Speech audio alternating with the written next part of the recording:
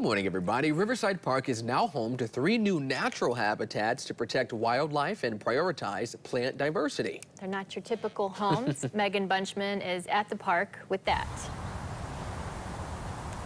Good morning. These beautiful new homes are just some of many new habitats that have been popping up all over side, all over Riverside Park. And community officials, well, they want to make sure that you're hearing all the buzz.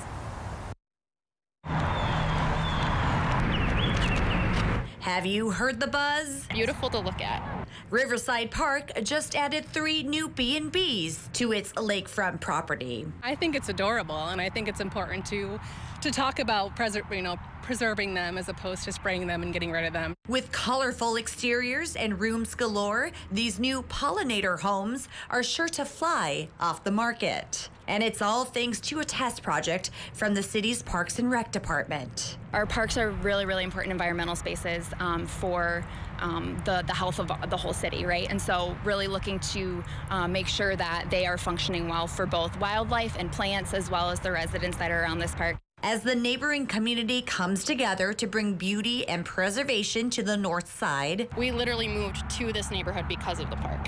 new bee homes, a pollinator garden, birdhouses, and soon to be installed bat homes are sure to add some pops of color to the lush green foliage on a warm spring day.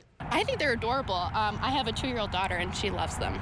If these habitats are deemed a success, money from the park millage will go towards installing more homes through Riverside Park in the near future. Glad they're putting the time and the money into making this a great place because it is like I think my most favorite park out of all of them.